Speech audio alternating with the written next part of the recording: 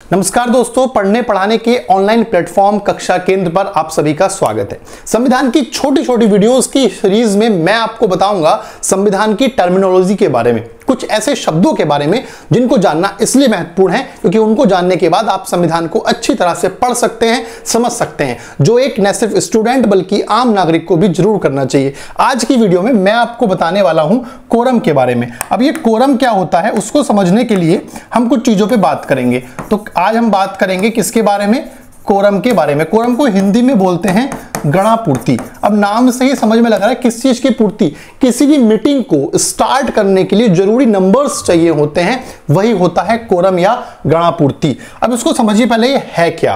भाई कोरम का मतलब है किसी चीज़ को, किसी मीटिंग को स्टार्ट करने के लिए ज़रूरी नंबर कैसे समझेंगे? मान लो आपको लूडो खेलनी है। अब लूडो खेलने के लिए कम से कम दो लोग तो होने चाहिए।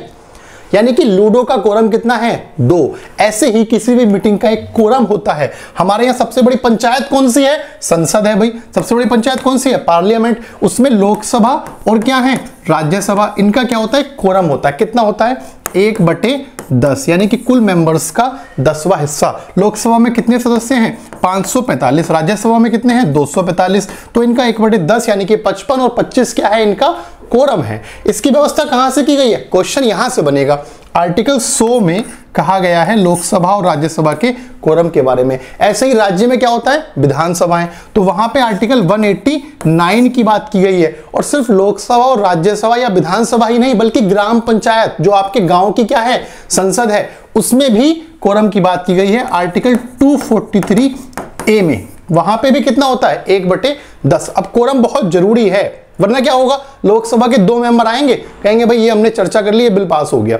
इसीलिए कोरम रखा गया है कि कम से कम इतने लोग तो होने ही चाहिए। ये तो बात हो गई कोरम के नंबर्स की। अब आप अपने घरों में देखो कभी कभी क्या होता है कि मम्मी पापा आएँगे तभी बात होगी।